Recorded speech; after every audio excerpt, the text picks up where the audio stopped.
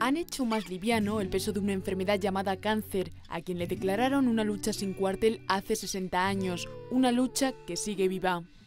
Un millón y medio de personas eh, con cáncer, 200.000 nuevos casos cada año.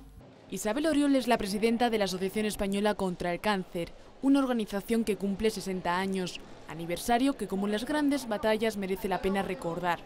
Una exposición resume ahora la historia de esta ONG que empezó a ocuparse de la gente con cáncer y sin recursos y de los hospitales sin medios para atender esta pandemia, como cuenta el doctor Rafael Herranz. A finales de los 60, a principios de los 70, me encuentro con un despacho de la asociación aquí dentro del hospital y me encuentro también con que una de las dos máquinas de tratamiento de radioterapia entonces, que era una unidad de cobaltoterapia, era una unidad que la asociación había dispuesto en este hospital una organización que impulsó la investigación oncológica hasta el punto de mover hoy cerca de 14 millones de euros en investigación.